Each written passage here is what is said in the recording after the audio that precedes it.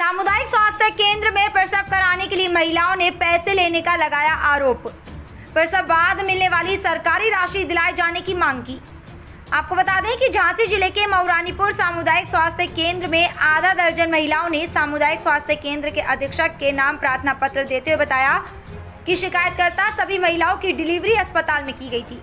तो वहीं प्रसव के बाद सरकार के द्वारा जो सहायता राशि मिलती है, वह इन महिलाओं को आज तक नहीं मिली है। जबकि डिलीवरी कराए जाने के बाद एक साल का समय भी व्यतीत होने जा रहा है।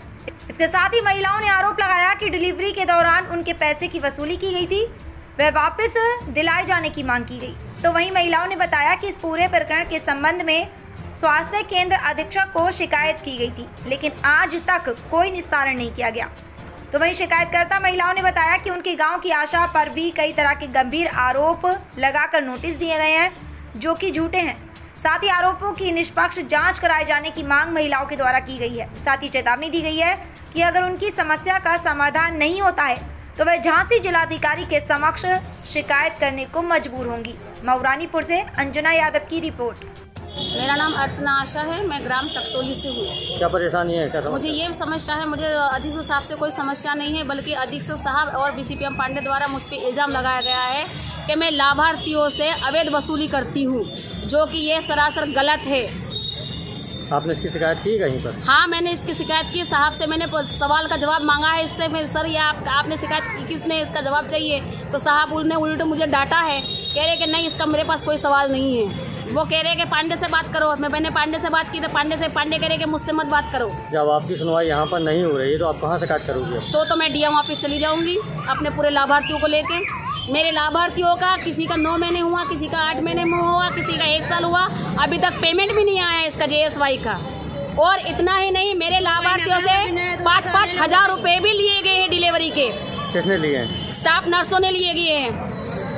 पाँच पाँच हज़ार रूपए प्रत्येक डिलीवरी से लिए किसी के दो हज़ार लिए किसी के पाँच हज़ार लिए किसी के तीन हज़ार लिए। ये मेरे लाभार्थी गवाह है इस चीज़ के लिए। आप पूछ सकते हो। कहाँ के रहने वाली है? क्या समस्या है आपकी? हमारी ये समस्या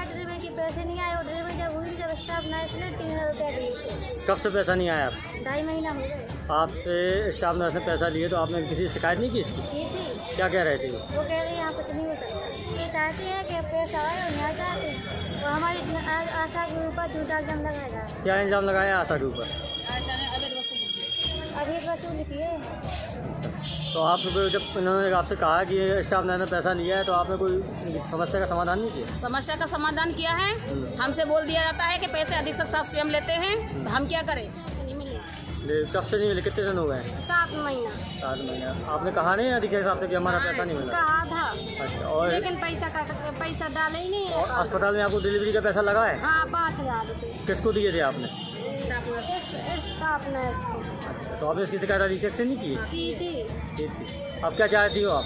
पैसा पैसा मतलब बस नहीं आ चाहते और हमारे आशा को नहीं इस वीडियो को लाइक करें हमारे चैनल को सब्सक्राइब करें और बेल आइकन ज़रूर प्रेस करें।